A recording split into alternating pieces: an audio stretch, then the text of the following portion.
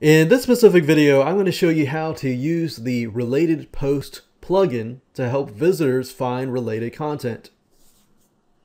So what you need to do is log into your WordPress dashboard, go under Plugins, click on Add New, and do a search for a specific related post plugin called the Contextual Related Posts.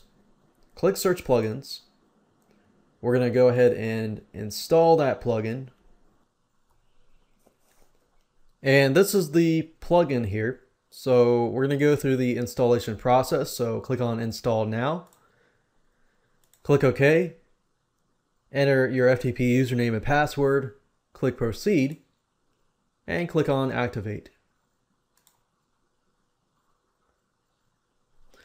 The settings for the related posts, it's going to be under settings, related posts. And here we go. I'm going to walk you step by step through the general options so you can set everything up and then you'll be good to go. So under the general options, this basically displays the related number of posts. So do you want a maximum of five or do you want a maximum of 10? Whatever number that you want. In this case, we're going to leave it at six. Related posts should be newer than a certain amount of days.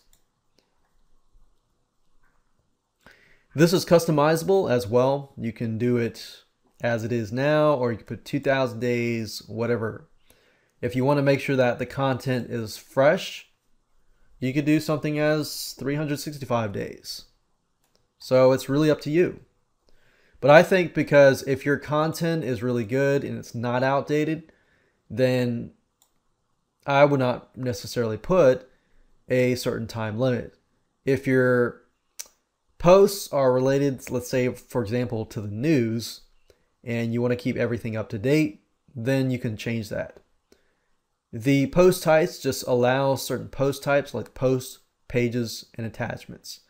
In this case, I'm going to leave it at post and page. It's really up to you.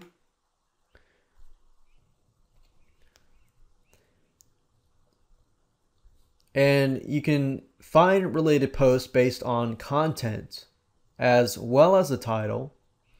Or if you uncheck this, then it'll find related posts only related to the titles. In this case, I'm going to leave it unchecked. Simply because the posts on the pages that I'm creating will not have any content for examples. You can also list the post or page IDs to exclude from the results. And the way you figure out the post or page ID is simply by going to a post, say for example, posts, click on all posts. And if you click that specific post or page, you're going to see post equals a certain number. That right there is your post page ID. You can also exclude categories from the results. So in this case, simply enter the category name and that's it. You can also set it where you can add related posts to post pages, homepage, feeds, category archives, and this just gives you the ability to show wherever the posts are going to appear. In this case, I'm going to put posts and pages, click Save Options, and we'll move to the second tab. The second tab is the output options, basically how it's going to look. So you can change the title of the related post if you want to, or leave it as it is. When there are no posts, you can either put a blank output or display no related posts. Now, while this is an option, I would recommend that you put a blank output simply because you don't want people to think, oh, this person doesn't really have a lot of content or, you know, who knows what could go in the mind of somebody if they saw no related posts. It to me, it's kind of like seeing the uh, this site is under construction kind of post. So that's just how I see it. So it's really up to you whether you have a blank output or displaying a specific message. You could have it display a different message if you want it to uh, have that.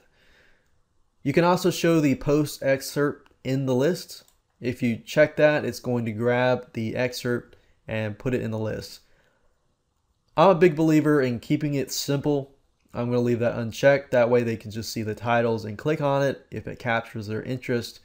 That way they are not overwhelmed with too much information or too much keywords in that list. You can have the length of the excerpt, but if that's unchecked, that doesn't really matter. You can limit the post title length if you want to do that. I normally leave it at 100 because I'd like to show the full title, but that's just me. And then this option here basically opens the links in a new window. I'm going to leave it as it is because I want people to stay within my site and not be distracted. You can add a nofollow attribute to the links in the list. And you can exclude display related posts on specific posts or pages. So use the same method I showed you earlier. If you want to know the post or page ID, simply click on the post or page and you'll find the ID and enter that here. And this stuff is just for, you know, lists, unordered lists, and things like that. I'm going to leave it as it is. These are post thumbnail options. Basically, you can set it where each of those related posts are going to have like some sort of thumbnail next to every one of those. Now, it depends on your audience and who they are. If they are very, very graphics oriented, that might appeal to them. But for the most case, I'm going to leave it do not display thumbnails. You can customize your thumbnails, the width, the height. You can use TimThumb by checking that. You can enter the quality of the thumbnails that way because if you have too many images, it can actually slow down your site. So you can enter the quality here. And we have the post thumbnail meta field which enables you to customize that within your post. And you got other information about thumbnails. Click Save Options when you're done. And feed options are basically related to your WordPress feed. So you can customize these feed options if you want to do that, displaying a certain amount. Thumbnails, if you want to use thumbnails, and we're not going to leave that blank. We're going to leave that as it is custom styles. This is for advanced users. If you know how to tweak your CSS cascade styling sheets, in this case, we're going to leave it as is and we're good to go. Now I want to show you the related posts plugin in action. If I go to the site here, I've added a bunch of posts and pages. And if I refresh the page, and let's say, for example, I'm going to, click on a specific post. And remember, I have it set where if the title is similar, it's going to show the related post. So I've got three posts, post one, two, and three. And if I click on any of these, it should post and show the post one and two. So we got post one and two. If I go back here, and I click on post 2, it should display post 1 and 3. And 1 and 3. So there we go.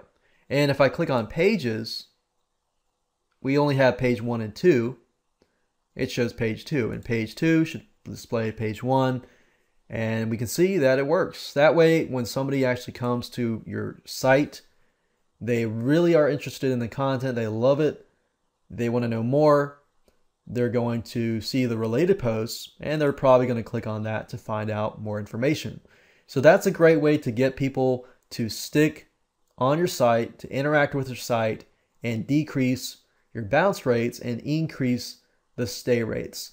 This really helps, especially with Google trying to rank your sites and trying to figure out is your site a site that people actually go to and stay on.